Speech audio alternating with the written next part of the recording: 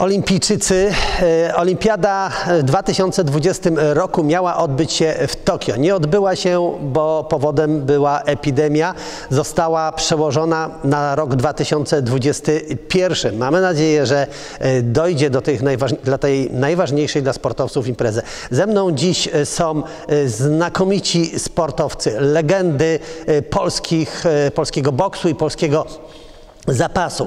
Czesław Kwieciński, olimpijczyk, Marian Kasprzyk, olimpijczyk i Józef Gilewski, olimpijczyk.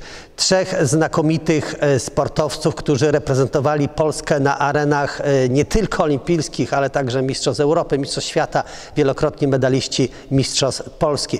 Czesław Kwieciński, e, panie Czesławie, pięć razy był pan na Igrzyskach Olimpijskich, a gdy Pan był małym chłopcem. Spodziewał się pan, że tak to się wszystko potoczy, bo pana historia no, jest niezwykle ciekawa. Pochodzi pan z Litwy, z tego co y, wiem. I jeszcze jako dziecko trafił pan na Syberię. Jak to wszystko wtedy wyglądało? No, urodziłem się na Litwie, niedaleko Kowna, na wsi oczywiście. No tam dziadek miał pięcioro, y, pięcioro synów. Jak dorośli, miał 50 hektarów ziemi, podzielił na każdego i każdy tam uprawiał. No i, i ja tam y, mieszkałem, no to na wsi wiadomo, że tam nie co, co tego się robiło, tam się bawiło i tyle. I w 48 roku, bo się urodziłem w 42 roku, właściwie 16 listopada, a przepisali na 43. No, bo to tak w papierach pomieszali. No i 1948 roku Józef Stalin robił porządki na Litwie i wszystkich tych ludzi wysyłał na Syberię. I ja właśnie trafiłem też z rodzicami w taki transport. Przyjechali w nocy, zabrali, wywieźli, jechaliśmy pociągiem tym w tych wagonach towarowych, tak jak to pokazują w filmach. I zajechaliśmy aż do miejscowości Igarka nad Jenisiejem, prawie 10 tysięcy kilometrów stąd. No i tam, cóż, y, poszedłem w 50 roku, miałem tu 7 lat już, poszedłem do szkoły. No i chodziłem do szkoły, się uczyłem tam, tak jak wszyscy. No i no cóż, zimno tam było, trzeba powiedzieć, bo mrozy tam dochodziły 40 stopni nawet. No, a do szkoły chodziło się, no, dzieci chodzili do minus 25, to chodzili dzieciaki nawet do pierwszej klasy. A jak było więcej, 25, no to już nie chodzili, nie?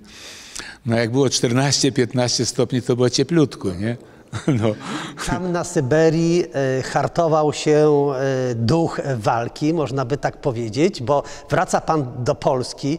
Jeszcze jako młody człowiek szczęśliwie wracacie do Polski, bo wiemy, że wielu, wielu Polaków zostało na Syberii na zawsze. E, I wtedy zaczyna się pana przygoda ze sportem. Jak te początki wyglądają? Tak, właśnie. Jak wróciliśmy, w 1956 roku była repatriacja.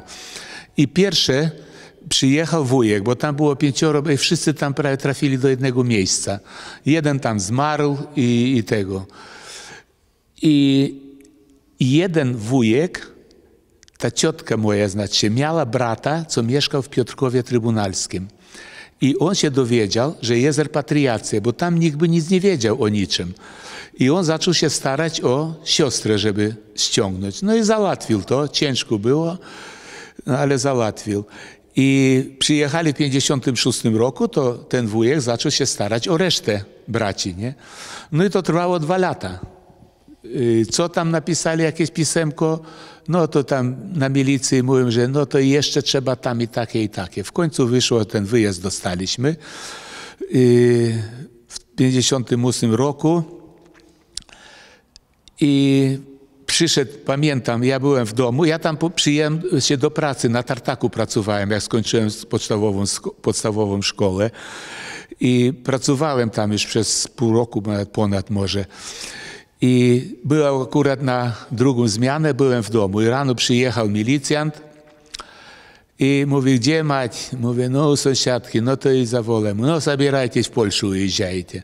Tydzień czasu i nas tam nie było.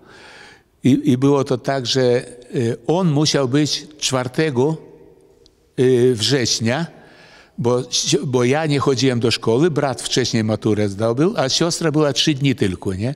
A z 10 na 11 września mieliśmy statek do Krasnojarska i do, tam do pociągów i w ogóle. Tam były samoloty też na wyspie, ale to było za drogo, żeby je. No i pojechaliśmy tam, za tydzień czasu wyjechaliśmy z 10 na 11 września. Jeszcze kolega taki tam, jeden jeździł samochodem takim jak czterech pancerny, ten jeździli, nie? Zawiózł nas do, do przystani na ten statek i do, statkiem do Krasnojarska, do Moskwy i do Polski i byliśmy do Piotrkowa docelowo. Byliśmy y, y, 28 października, a 10 na 11 wyjechaliśmy stamtąd. Tyle byliśmy w podróży. No. no i później w tym Piotrkowie już jak jestem i poznałem tam pierwszych kolegów. No i tam chodziliśmy z nimi tu, tam i tam robiliśmy jakieś tam psoty, samopały jakieś tego, to co ja na Syberii tam robiłem. No i tak żeśmy tego brali tam, oni kupowali, znaczy wino, takie patykiem pisane było za 16 zł, nie? I każdy brał i petitki na zakąskę i my chodzili w takie tam na łąki, na taką rzeczkę.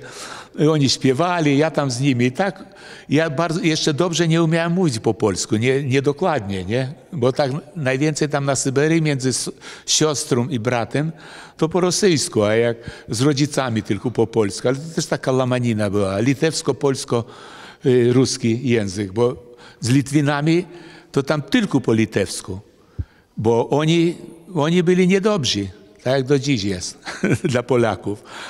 No i, i ja z tymi kolegami chodziłem tu, tam, wszędzie. No i kiedyś jeden tam z nich mówi mi tak, ty wiesz co, ty masz długie lapy, kurczę, nadawałbyś się do boksu, nie? No i zaprowadzili mnie do Piotrkowi, Concordia, Concordia Piotrków Klub, on do dziś tam istnieje jeszcze ta sekcja. No i, i tego. I ja zacząłem trenować boks. No i pojechałem na, a, przez jakiś czas tam trenowałem i pojechałem na pierwszy krok do Zduńskiej Woli. Tam dostałem od takiego wielkiego, co był wyższy ode mnie, tak jak Trela z tym Tysonem walczył, to ja tam jego nie mogłem nawet ręką sięgnąć do góry, nie? Do, do twarzy. A on mnie tylko z góry dziabał, dziabał i nos rozbił, krew poleciała, ręcznik trener rzucił, poddaje, nie? No i później jeszcze trenowałem, chodziłem na treningi i jakoś nie wiem, jak dokładnie to było, ale ta sekcja bo- bokserska się rozpadła tam w Piotrkowie. No i nic nie robiłem. No i chodzę kiedyś w niedzielę tam na mieście i patrzę, idzie taki kolega, co też trenował zapasy, e, te, nie zapasy, ten boks, nie? No i cześć, cześć, tam do niego, co robisz? A mówi, idę na zapasy. Ja mówię, gdzie? A my na zapasy. A co to jest? A on się śmieje, tak mówi, nie wiesz, jeden drugiego na łopatki kładzie, tak, nie? Ja nie mam pojęcia. Mówię, no ja teraz trenuję, mówię, te zapasy. A gdzie? No i tam, i tam. No i poszedłem na drugi dzień chyba tam do tej miejscowości, do tej, do tej sali. No i ten mówi, że tu kolega chciał się zapisać na te. No, to, no i później na następny y, trening już, tam były poniedziałki, środy i piątki treningi. No ja się ubrałem w trampki. No i tam pierwsza rzecz, bo aha, jeszcze wracając na tę Syberię. Ja tam nie widziałem żadnych sportów, jedynie piłka nożna była, to wiem. I sztangę widziałem, że podnoszą. A na nartach, no to na łyżwach każdy tam jeździł, musiał jeździć, nie? No i, i tu akurat jak wszedłem na ten pierwszy trening, patrzę, sztanga stoi, nie? No i to ja podchodzę do tej sztangi i ją biorę. Tam było gdzieś, nie wiem, gryf, dwie te duże i jakieś dwie mniejsze. No gdzieś 70 chyba kilo tam musiało być. No i ja tak, a ważyłem ja 82-3 kilo wtedy. Ja podchodzę do tej sztangi i biorę ją, bo patrzyłem jeszcze przed tym, jak tam te koledzy brali, nie? bo ja w ogóle nie dotykałem nigdy. No i złapałem tą sztangę, wrzuciłem sobie na klatkę i do góry podrzuciłem, nie? Trener zrobił takie duże oczy, nie? że jakiś silny jestem, nie? No i tak, i zaczął później mną się opiekować ten, ten trener w Piotrkowie, ten, z tych zapasach. No. Zaczęła się więc ta przygoda z zapasami, no i szybko przyszły pierwsze sukcesy, a co najważniejsze, wyjazd na Igrzyska Olimpijskie, bo skoro było tych wyjazdów tak dużo, to który to był ten pierwszy rok? Pierwszy wyjazd na Igrzyska. Pier, znaczy pierwszy wyjazd w ogóle, nie? nie? Może powiem tak, że po gdzieś roku czasu trenowania i ten trener widział, że ze mnie coś może być i on sam osobiście przychodził, nie do, do innych nie przychodził, do mnie przychodzi i pokazywał chwyty, jak, co, gdzie przycisnąć, gdzie złapać, nie? No i ja trafiłem na obóz kadry, załatwił. Y, To było w tym w Wiśle, w ośrodku start, tam gdzie piłkarzyki jeździli, nie? nasi jeżdżą. No i tam z, y, przed świętami i po Nowym Roku. Ja tam byłem na obozie. I później był y, na, następny rok, y, był wyjazd do NRD, do Niemiec, jako junior. No i, i ja już później na te obozy właśnie tam zacząłem i później, że jak to obóz był, to już dostałem powołanie, nie? No i pojechałem do NRD, było to w Poczdamie i Luckenwaldzie. To było jeszcze NRD i tam orkiestra ruska grała wojskowa, w muszli koncertowej mata rozłożona i ja tam walczyłem z takim zapaśnikiem w ciężkiej wadze ja. I on był wyższy ode mnie o głowę, ale ja tam z nim wygrałem i w Poczdamie, i w Luckenwalde. I położyłem go tam, kurczę, dwa razy. No i dobra opinia trenera, no i tak zaczęli mną się interesować. No. Później drugi wyjazd był y, w, y, za niedługo w tym, do Szwecji. Tam pojechałem, też bardzo dobrze powalczyłem. Miałem takich większych ode mnie dużo byków, a załatwiłem ich. No i, i tak się zaczęła ta kariera w sumie. Zaczęła się. To teraz wymieńmy. Igrzyska Olimpijskie, na których Pan był, po kolei. No i później y, no, startowałem w różnych zawodach, w turniejach Pytleśnickiego, Jacińskiego, tam inne Poddubny, y, Pietrowa w Bułgarii, takie. Tam już medale robiłem na tym. No, największy taki sukces to był mój chyba y, pierwszy, to w tym w Warszawie me, Memoriał Pytleśnickiego. To zdobyłem drugie miejsce. Tam przegrałem tylko z jednym ze Szwecji, nie?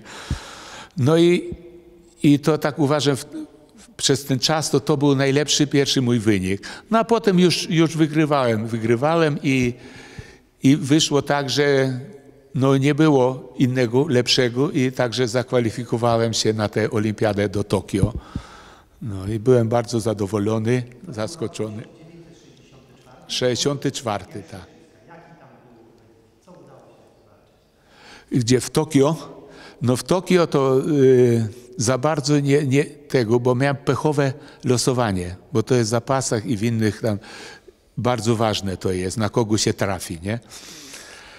I ja trafiłem akurat na dwóch najlepszych w tej mojej wadze. 87 kilo to było. Było dwóch najlepszych. Yy, yy, Niemiec, Mec taki i olejnik, Ro- Rosjanin. Chociaż y, z tym olejnikiem ta walka była dosyć równa taka i tam nawet próbowali założyć protest jakiś, ale to Polska się nie liczyła. To było ruskie, tam Bułgary, to była potęga, nie? Także, y, no i przegrałem tak, no. Ale był wyjazd na Igrzyski. Potem mamy rok 1968, Igrzyska w Meksyku, tak? Jeśli dobrze pamiętam. Tak, nie, ale wcześniej jeszcze powiem, 65 rok, pojechaliśmy na Mistrzostwa Świata do Tampere, do Finlandii, nie? I tam już walczyłem jako ja w wadze półciężkiej, nie średniej, tylko półciężka, od 87 do 97. No i tam wywalczyłem brązowy medal, pierwszy w historii polskich zapasów. Ja ten brązowy medal z Mistrzostw Świata miałem, nie? No i też bardzo się cieszę. Tam później jeszcze mieli Bernek Knitar, Knitar miał i Mackiewicz, y, Bolek z Raciborza też miał medal. No ale ja już miałem, a oni dopiero później, nie? Na drugi dzień. Później przychodzi na Meksyk. Byłem tam na przedolimpijskim w 67 roku. I tam byłem trzeci w ty, tych zawodach. No tam nie było za dużo tych takich dobrych zawodników, no ale, ale byłem na takim rekonesansie, czy jak to się mówi, nie? No i, i później walczyłem tam, no walczyłem, ale nie wywalczyłem nic za bardzo. Chyba siódme, siódme miejsce chyba miałem. No to nie wiem, to nie było tak dobrze. No. To były drugie i, i, za, i za kolejne cztery lata trzecia igrzyska to był już chyba Monachium, tak? Monachium, z tym, że jeszcze były później Mistrzostwa Świata w 70 roku w Edmonton w Kanadzie i tam znowu wywalczyłem srebrny medal nie? na tych mistrzostwach. Było bardzo fajnie, byłem bardzo zadowolony, się cieszyłem tam. Bardzo Polonia spotykała bardzo fajnie, serdecznie Polaków wtedy, nie jeszcze. No i, i też taki całą noc, pamiętam, że nie spałem, bo kurde tak przeżywałem ten, ten wynik, nie? Dobry.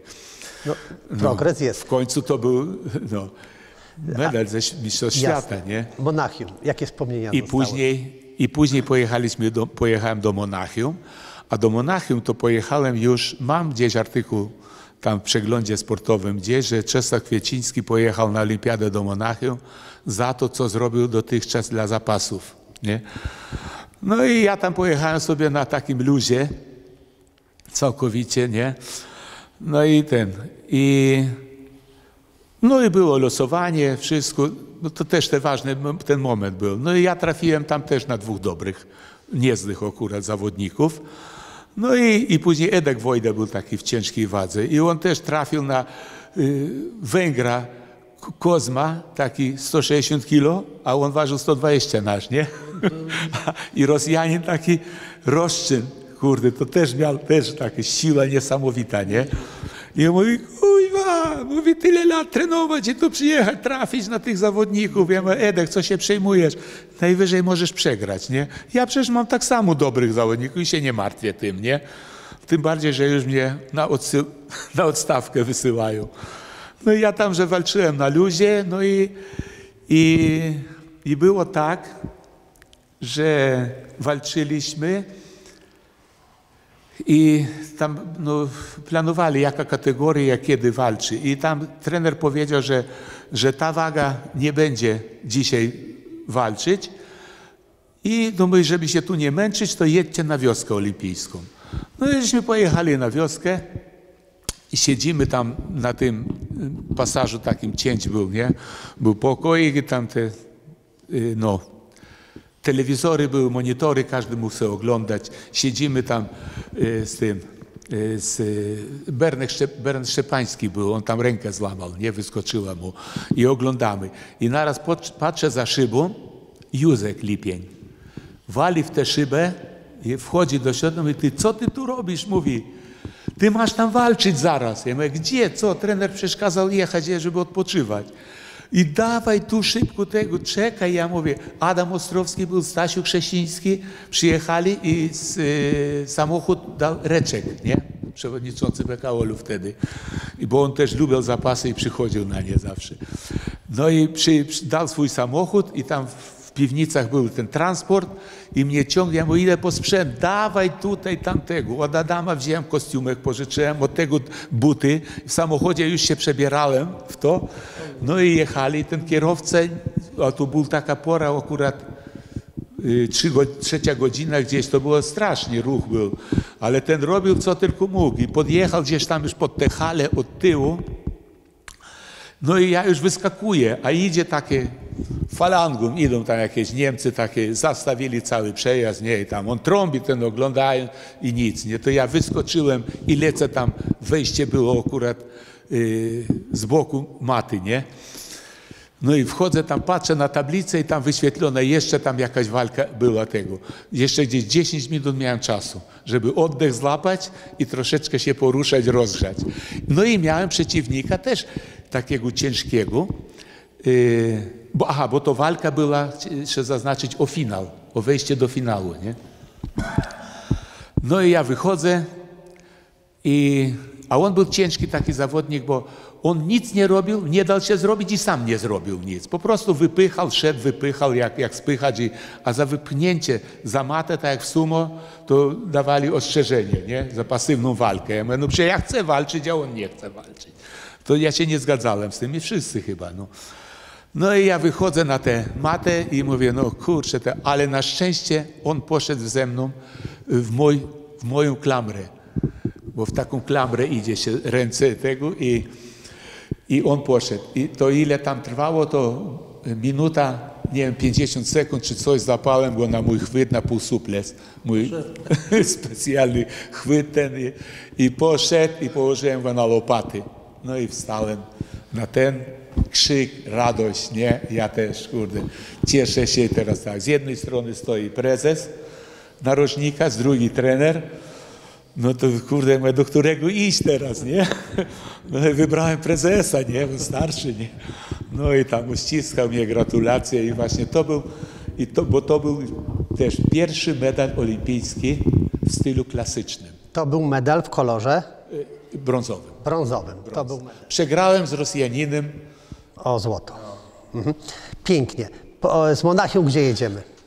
po Monachium, y, Montreal. Montreal. Rok 1976. I ja, bo miałem po Monachium, miałem skończyć, nie? No ale tego. Andrzej Supron mówi, mówi nie, Czesiu, mówi, co ty się przejmujesz, mówi. Nie możesz skończyć, mówi. Masz tu dożywianie, tam parę groszy płacili, nie? Obozy, je, możesz jechać na olimpiadę, mówi, nie, bo kto cię zastąpi. No i tak jeszcze sobie trzymałem, nie? I to dotrzymałem do tej, tego Montrealu. No i pojechałem na ten Montreal i tam też zdoby- zdobyłem brązowy medal, nie? W tej, w, w tej walce o brązowy medal z kim było? I Y, jak, Też z Razańcewem, też. ten sam zawodnik. Ten sam zawodnik. I w jaki Z tym, sposób? że ja nie powiedziałem tego, że w Monachium y, niepotrzebnie poszli na układ. Trener, bo był ruski trener z nami, taki były zawodnik jeszcze, jak ja zaczynałem, on jeszcze walczył w Rosji, Sapunow, taki Gennadij.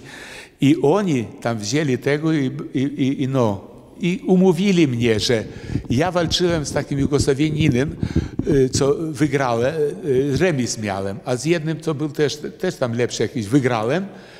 I, I teraz tak, weszli i on wszedł do finału i ja.